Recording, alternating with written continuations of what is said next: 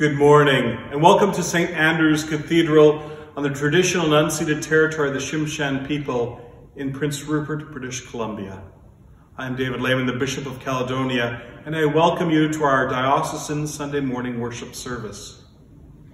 We gather as we do at these times together apart as we come to sing hymns, pray prayers, and reflect on the readings.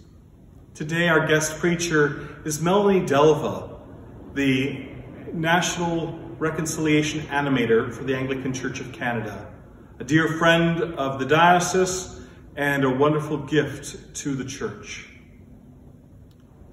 We sing our first hymn, and did those feet in ancient times.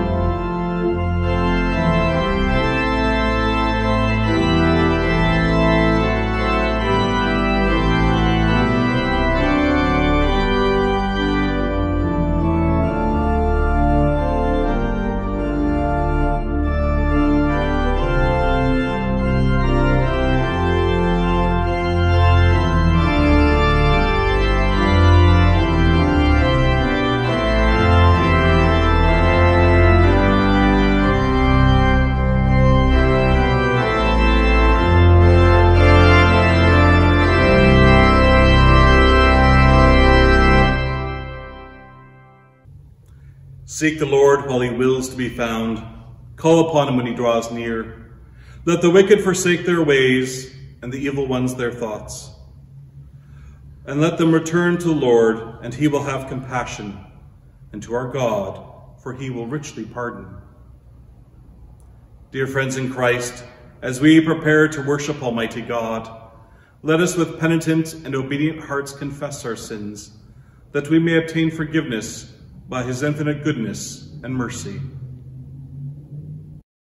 Most merciful God, we confess that we have sinned against you in thought, word, and deed, by what we have done and by what we have left undone. We have not loved you with our whole heart. We have not loved our neighbors as ourselves. We are truly sorry and we humbly repent. For the sake of your Son, Jesus Christ, have mercy on us and forgive us that we may delight in your will and walk in your ways, to the glory of your name. Amen. Almighty God, have mercy upon you, pardon and deliver you from all your sins, confirm and strengthen you in all goodness, and keep you in eternal life. Through Jesus Christ our Lord. Amen. Lord, open our lips, and our mouth shall proclaim your praise. O God, make speed to save us. O Lord, make haste to help us. Glory to the Father, and to the Son, and to the Holy Spirit, as it was in the beginning, is now, and will be forever. Amen. Alleluia! The Lord is our refuge and strength. O come, let us worship. We say together the Jubilate. Be joyful in the Lord, all you lands. Serve the Lord with gladness and come before his presence with a song. Know this the Lord himself is God. He himself has made us, and we are his. We are his people, and the sheep of his pasture. Enter his gates with thanksgiving, go into his courts with praise. Give thanks to him and call upon his name. For the Lord is good, his mercy is everlasting, and his faithfulness endures from age to age. The Lord is our refuge and strength. O come, let us worship. The psalm appointed for today is Psalm 124. We shall say the psalm responsively by the whole verse. If the Lord had not been on our side, let Israel now say, If the Lord had not been on our side when enemies rose up against us, then would they have swallowed us up alive in their fierce anger toward us. Then would the waters have overwhelmed us, and the torrent gone over us. Then would the raging waters have gone right over us. Blessed be the Lord, he has not given us over to be a prey for their teeth. We have escaped like a bird from the snare of the fowler. The snare is broken, and we have escaped. Our help is in the name of the Lord, the Maker of heaven and earth. Glory to the Father, and to the Son, and to the Holy Spirit, as it was in the beginning, is now, and will be forever. Amen. It is now several centuries since the people of Israel arrived in Egypt during a famine and were welcomed by Joseph. They have grown in numbers and have probably spread beyond the land of Goshen. The first reading is written in the book of Exodus, beginning in the first chapter at the eighth verse. Now a new king arose over Egypt who did not know Joseph. He said to his people, Look, the Israelite people are more numerous and more powerful than we. Come, let us deal shrewdly with them, or they will increase and, in the event of war, join our enemies and fight against us and escape from the land. Therefore they sent taskmasters over them to oppress them with forced labor. They built supply cities, Pithom and Ramses, for Pharaoh. But the more they were oppressed, the more they multiplied and spread, so that the Egyptians came to dread the Israelites. The Egyptians became ruthless in imposing tasks on the Israelites, and made their lives bitter with hard service in mortar and brick, and in every kind of field labor. They were ruthless in all the tasks that they imposed on them. The king of Egypt said to the Hebrew midwives, one of whom was named Shiphrah and the other Puah, When you act as midwives to the Hebrew women and see them on the birth stool, if it is a boy, kill him. But if it, it is a girl, she shall live. But the midwives feared God. They did not do as the king of Egypt commanded them, but they let the boys live. So the king of Egypt summoned the midwives and said to them, why have you done this and allowed the boys to live? The midwives said to Pharaoh, Because the Hebrew women are not like the Egyptian women, for they are vigorous and give birth before the midwife comes to them. So God dealt well with the midwives, and the people multiplied and became very strong. And because the midwives feared God, he gave them families. Then Pharaoh commanded all his people, Every boy that is born to the Hebrews you shall throw into the Nile, but you shall let every girl live.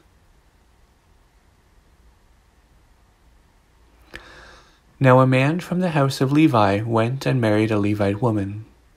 The woman conceived and bore a son, and when she saw that he was a fine baby, she hid him three months. But when she could hide him no longer, she got a papyrus basket for him and plastered it with bitumen and pitch. She put the child in it and placed it among the reeds on the bank of the river. His sister stood at a distance to see what would happen to him. The daughter of Pharaoh came down to bathe at the river, while her attendants walked beside the river. She saw the basket among the reeds and sent her maid to bring it. When she opened it, she saw the child. He was crying, and she took pity on him. This must be one of the Hebrews' children, she said. Then his sister said to Pharaoh's daughter, Shall I go and get you a nurse from the Hebrew women to nurse the child for you? Pharaoh's daughter said to her, Yes. So the girl went and got the child's mother. Pharaoh's daughter said to her, Take this child and nurse it for me, and I will give you your wages. So the woman took the child and nursed it. When the child grew up, she brought him to Pharaoh's daughter, and she took him as her son. She named him Moses, because, she said, I drew him out of the water. The word of the Lord. Thanks be to God. Our next hymn is You Are My All in All. Please join us as we sing.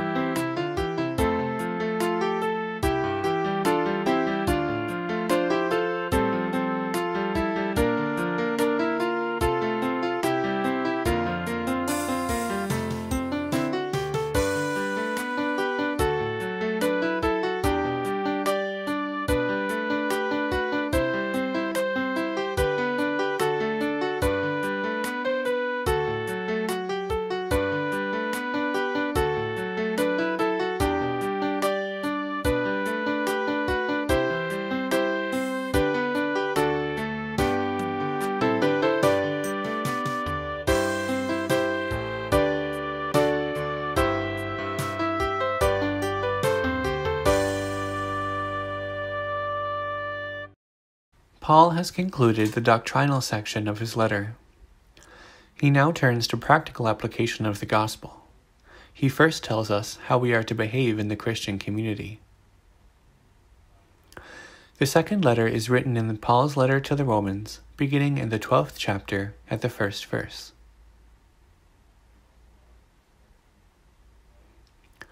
I appeal to you, therefore, brothers and sisters, by the mercies of God, to present your bodies as a living sacrifice, holy and acceptable to God, which is your spiritual worship. Do not be conformed to this world, but be transformed by the renewing of your minds, so that you may discern what is the will of God, what is good and acceptable and perfect. For by the grace given to me, I say to everyone among you, not to think of yourself more highly than you ought to think, but to think with sober judgment, each according to the measure of faith that God has assigned. For as in one body we have many members, and not all the members have the same function, so we, who are many, are one body in Christ, and individually we are members one of another.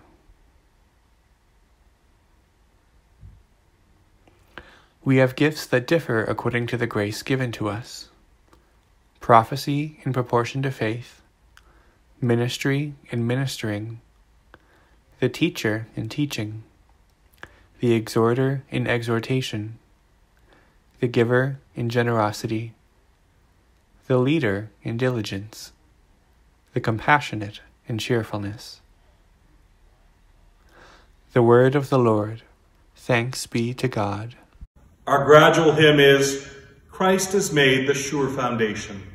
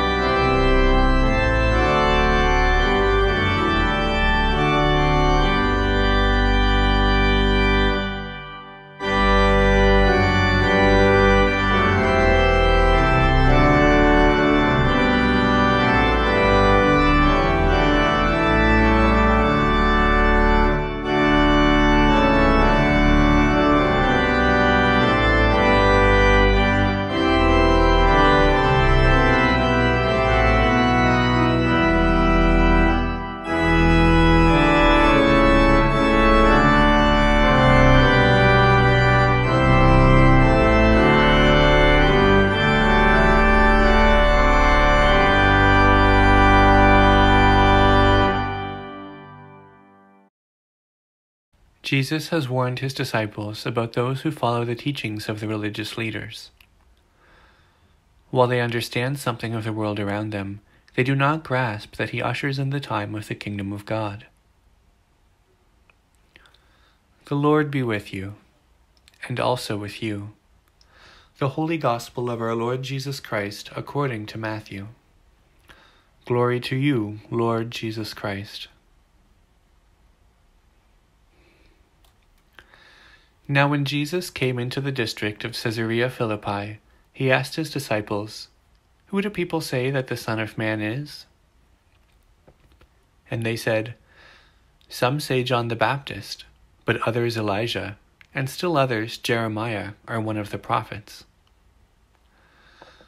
He said to them, But who do you say that I am? Simon Peter answered, You are the Messiah, the Son of the living God. And Jesus answered him, Blessed are you, Simon, son of Jonah, for flesh and blood has not revealed this to you, but my Father in heaven. And I tell you, you are Peter, and on this rock I will build my church, and the gates of Hades will not prevail against it. I will give you the keys of the kingdom of heaven, and whatever you bind on earth will be bound in heaven, and whatever you loose on earth will be loosed in heaven. Then he sternly ordered his disciples not to tell anyone that he was the Messiah. The Gospel of Christ. Praise to you, Lord Jesus Christ.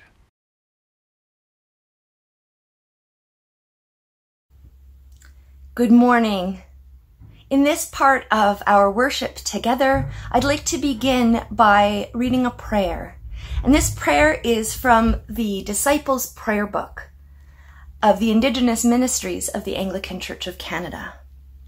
More and more, it's becoming a central prayer to my life and work, and I'd like to share it with you. Let us pray. Creator, we give you thanks for all you are and all that you bring to us for our visit within your creation. In Jesus, you place the gospel at the center of the sacred circle through which all creation is related. You show us the way to live a generous and compassionate life. Give us your strength to live together with respect and commitment. For you are God, now and forever. Amen.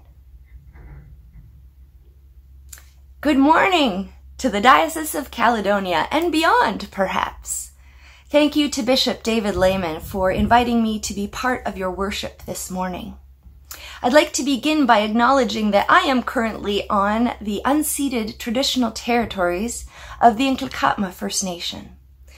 Gratefully, I have received the permission and the blessing of Chief and Council to live, work, and play here, and I pray that I may also always do so in a good way. I also wanted to say that I do not do this acknowledgement simply because it's a fad or something that is nice to do at the beginning of a service. I do it as a reminder to all of us, myself included, that God's people were already here before the missionaries ever arrived. God's people were working, living, and playing with God, the Creator, as their guide before any white Europeans ever landed here. I'm so grateful for everything that I've been allowed to learn, and I hope that we can all learn from one another to create a more just future together. I'd also like to take a moment to express my sincere condolences to the Nisga'a Nation at the death of Dr. Gosnell. Dr. Joseph Arthur Gosnell died of cancer this past week. He was a Nisga'a fisherman, a lifelong fisherman. But more than that, he was a leader in his nation. He was someone who gave the people hope. And as the Nisga'a website, as their press release so beautifully put it, he led the Nisga'a nation out from under the Indian Act and into self-government. And this has been a beacon of hope to indigenous peoples worldwide. I didn't have the opportunity and the honor to meet Dr. Gosnell myself, but I want to acknowledge and honor his name today as one of the elders, as one of the leaders of the Nisga'a Nation, and someone that we can all learn from even now. He's described as gentle, dignified, brilliant, a giant. Again, my condolences to the Nisga'a Nation. And may we all uphold his memory and carry on the good work that he has begun. So I've been thinking a lot about miracles lately. And I've been thinking about them because up until recently, I was one of the people who kind of bemoaned the fact that God just doesn't seem to be working the kind of miracles that he had going on in the Bible times. The Fraser River to my knowledge, has never in uh, recent times split in half and dry land has appeared for folks to pass across. The sandwiches and meals that our churches have been giving out and serving as part of community meal programs don't tend to, as far as I know, suddenly multiply in miraculous ways so that we can feed entire cities and provinces. These things just don't seem to be happening anymore. We pray for the health and healing of our friends and family. But I don't know about you, but I realized recently that when I was praying for healing, really I was praying for the doctors and nurses and caretakers of that person, that they would care for that person well. I realized that I didn't often really believe that God would miraculously heal my friends and relatives. That was a pretty humbling realization to make. I've had a hard time believing at times that God is still working these amazing wonders in today's times. But as I spent, as I have spent and continue to spend a large amount of my time with Indigenous peoples, both through my personal life and also in my work as reconciliation animator for the Anglican Church of Canada, I have been learning a new way of thinking about miracles. In the indigenous communities that I have visited and spent time in, the miraculous is not something that is just hoped for one day, but is something to be expected, something to be trusted, something to be looked out for every day. Miraculous realities are not seen as something that happened in the past that we can sit back and wonder, wow, that must have been nice. But much like the gospel stories, the stories that Indigenous elders have told me, were partly about the stories and partly about learning what it is that we can and should expect in terms of miracles in our daily lives. I can almost smell Jesus' frustration with the religious leaders in the first part of our gospel reading today his miracles, which were meant to manifest the kingdom of God in the time and place he was in. They were meant to show the type of kingdom of love and justice that Jesus was inviting people into God's kingdom. Instead, the religious leaders reduce these miracles, these signs of the kingdom, to what seems more like a cheap party trick they aren't asking him for help, for help with poverty, for help with injustice, for help with illness. Instead, they are trying to bait him. I love Jesus' reply so much, maybe a bit more than I should. Jesus basically says, Way to go, lads! You've managed to figure out, and dare I say, even believe, that clouds mean rain. And you figured out and believe that the sun means warmth. Heat, even. You've got the weather report nailed, but can we just move into something a bit more sophisticated? These religious leaders knew about the systems that oppressed the people. They knew that Jesus was creating a movement a movement that was based around the water of life that meant that people would no longer go thirsty. And that was very dangerous to them. Jesus wanted them to take the next step, to go beyond these signs, to understand the kingdom that Jesus represented. And I can feel his frustration at the fact that they simply refuse to take that next step. This is where I think I have a lot to learn about miracles. The Indigenous elders who have most formed me, at whose feet I have had the honor of sitting, have never made any distinction between the realm of miracles and reality. They live in a miraculous reality. When I listen to them, they do not speak of the spirit world as somehow separate from this world or our current reality. The Creator whispers into every corner of creation. And miracles are important, an important part of this creation, of this reality, and daily life. I'm beginning to try to have eyes to see, to have ears to hear. I'm beginning to try to see the reality of miracles and wonder what my life and my faith would look like if I asked Christ to help me see the miraculous before my very eyes. People are being healed in body, mind, and soul. Demons are being cast out in the here and now, whatever those demons might look like in a person's life. People are being saved, their physical lives being saved, their spirits, their hearts being saved. These elders, they know, they know the words of the psalmist in today's psalm. They know if the Creator had not been with them, they would be swallowed up and swept away in the torrents and raging waters that the psalmist describes.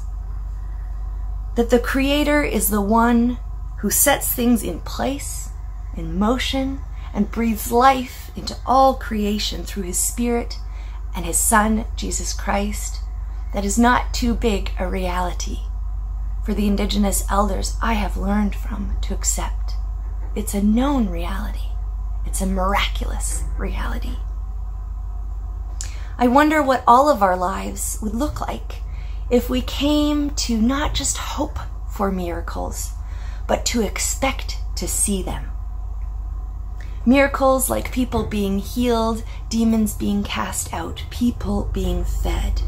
What if we suddenly had eyes to see the angels surrounding us, who walk amongst us, maybe in the ragtag garments of the homeless, maybe in the shoes of a struggling teacher trying to put together a lesson plan in the midst of a pandemic to help their students, the children, learn. Maybe the angel looks like a Nisga'a fisherman.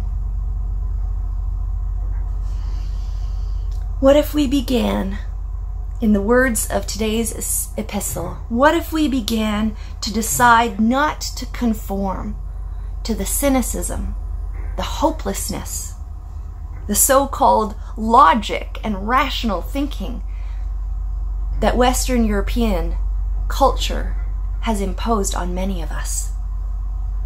What if we began to believe that God, who is so ridiculously lavish, with His love? What if we really believed that if we had faith like a mustard seed, we really could move mountains? People have been wondering, I have been wondering, what our current situation means for our present and for our future. I have seen some people online talk about how it's apocalyptic, the end times of the earth. I don't know about that, but I do know that we as a church should not be afraid. I don't know what happens next, but I do know that the only thing we need to fear is our own lack of vision, that our eyes are closed or our ears are closed. The greatest thing that we as a church need to fear is that we could get in the way of God's kingdom here on earth. God's goodness in the face of what the psalmist describes as these torrents, these raging waters that could sweep us all away. God's goodness in the face of this is the one thing, the one thing that we can count on.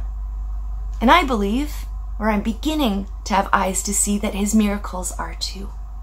That if we have but ears to hear, but eyes to see, we too could have a vision that is bigger than the religious leaders' weather report of Jesus' day. And thanks be to God for that. Amen. God bless you all. Thank you, Melanie, for your inspired word. You are such a gift to the church, and we appreciate all that you do and remind us and call us to be. I thank all of you for your continued financial support of your local parishes and the diocese. And if you were not able to attend worship in person, we encourage you to send in your tithe offering either by post-dated check, electronic fund transfer, or canadahelps.org. Our offertory hymn is, Oh Jesus, I have promised, and I'm sure I've picked the wrong tune. My apologies for that.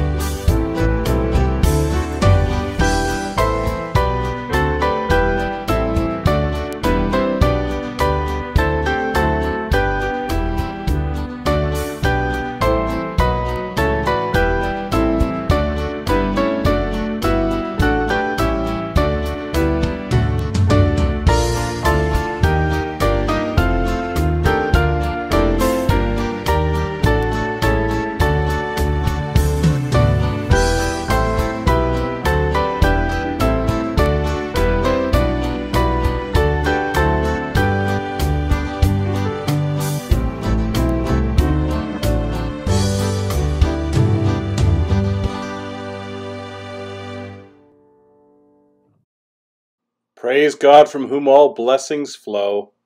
Praise him, all creatures here below. Praise him above, ye heavenly host. Praise Father, Son, and Holy Ghost.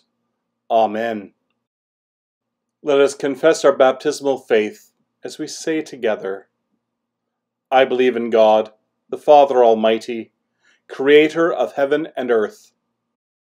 I believe in Jesus Christ, his only Son, our Lord he was conceived by the power of the Holy Spirit and born of the Virgin Mary. He suffered under Pontius Pilate, was crucified, died, and was buried. He descended to the dead. On the third day he rose again. He ascended into heaven and is seated at the right hand of the Father. He will come again to judge the living and the dead. I believe in the Holy Spirit, the Holy Catholic Church, the communion of saints the forgiveness of sins, the resurrection of the body, and the life everlasting.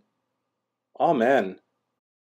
We praise your abiding guidance, O God, for you sent us Jesus, our teacher and Messiah, to model for us the way of love for the whole universe. We offer these prayers of love on behalf of ourselves and our neighbors, on behalf of your creation and our fellow creatures.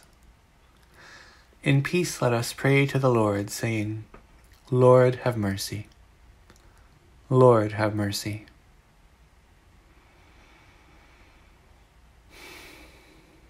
For the Holy Catholic Church throughout the world, in our diocese we pray for the honorary canons.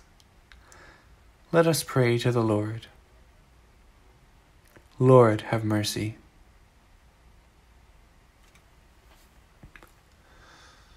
For Justin Welby, Archbishop of Canterbury, Linda Nichols, our primate, Melissa Skelton, our metropolitan, and David Lehmann, our bishop. For presbyters, deacons, and all who minister in Christ, and for all the holy people of God, let us pray to the Lord. Lord, have mercy.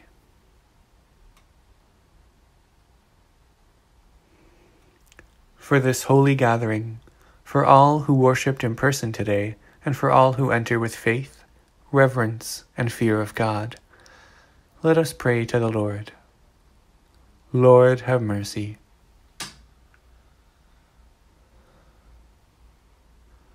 For this country, for all nations and their leaders, and for our communities, let us pray to the Lord.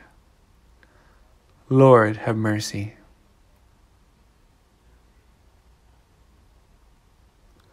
For all those in danger and need, the sick and the suffering, prisoners, captives and their families, the hungry, homeless, and oppressed, let us pray to the Lord. Lord, have mercy.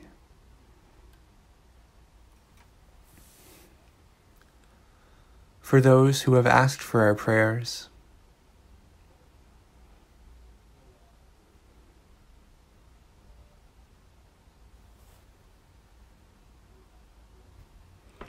Let us pray to the Lord. Lord, have mercy. For the dying and the dead, and for those who care for them, let us pray to the Lord. Lord, have mercy. For ourselves, our families, friends, and companions on the way, and all those we love, let us pray to the Lord. Lord, have mercy.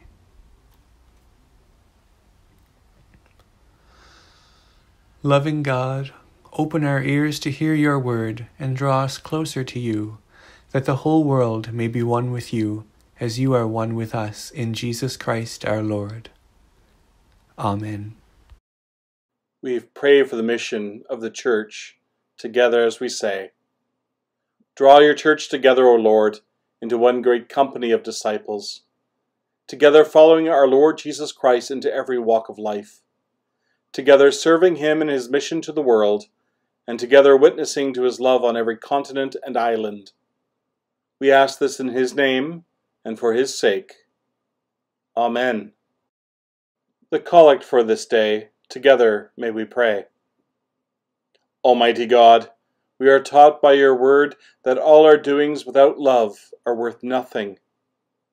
Send your Holy Spirit and pour into our hearts that most excellent gift of love, the true bond of peace and of all virtue.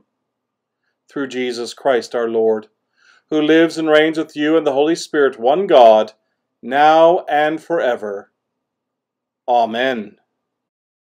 And now, as our Saviour Christ has taught us, we are bold to say in the language closest to our hearts Our Father, who art in heaven, hallowed be thy name. Thy kingdom come, thy will be done on earth as it is in heaven.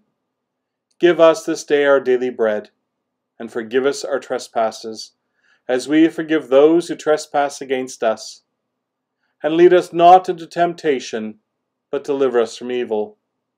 For thine is the kingdom, the power and the glory, forever and ever. Amen. Thank you for joining us today as we come together to worship God in this way. Thank you for all who helped with our worship especially to Melanie Delva, our preacher, and for her words of encouragement that are, she's always so inspirational. We encourage you to continue in prayer Monday to Saturday at 8 a.m. You can join Pastor Don from St. Mark's in Dawson Creek for morning prayer. At 12.15, come back to the cathedral uh, virtually for midday prayer with the Dean. Or join me nightly at 9 p.m. for Compline on Facebook, 9.30 on Vimeo and YouTube. May the peace of God, which passes all understanding, keep your hearts and minds in the knowledge and love of God and of his Son, our Lord and Savior, Jesus Christ. And the blessing of God Almighty, the Father, the Son, and the Holy Spirit be with you this day and forevermore. Amen. Now let's go into the week with a rousing hymn as we shout to the Lord.